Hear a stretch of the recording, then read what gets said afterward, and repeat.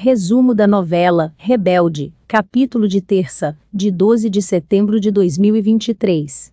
Lembrando que o resumo pode sofrer alterações de acordo com a edição feita pela emissora.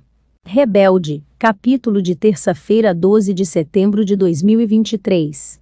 O diretor Pascoal repreende os alunos pelo sequestro do qual foi vítima o SR. Calderon e só então, Roberta e Jossi percebem que cometeram um terrível engano.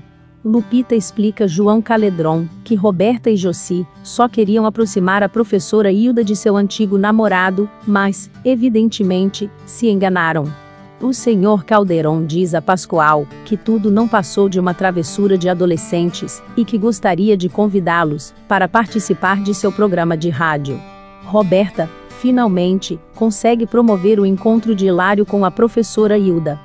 Roberta fica olhando para ver se Hilda e Hilário se beijam.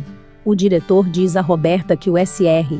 Calderon fará uma palestra e quer vê-la na primeira fila. Franco se oferece para ajudar Alma a procurar Marcelino. Tomás termina seu namoro com Raquel.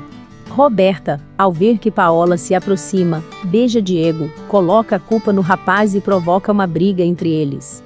Roberta exige que Diego deixe a banda para não ter que ficar perto de Roberta e deixa claro que se ele não fizer o que está pedindo, colocará um ponto final no relacionamento. Diego responde que a banda é seu sonho, seu projeto e não pretende abandoná-lo. Lupita diz a Nico que vai se mudar para o interior e que tomou essa decisão por causa de sua irmã Dulce.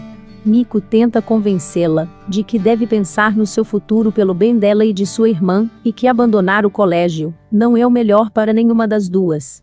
Roberta recebe um telefonema de Marcelino dizendo que vai embora com alguns amigos e que não deve se preocupar pois está bem. Diego diz a Miguel, Mia, Giovanni, Lupita, Roberta e Nico que decidiu deixar a banda.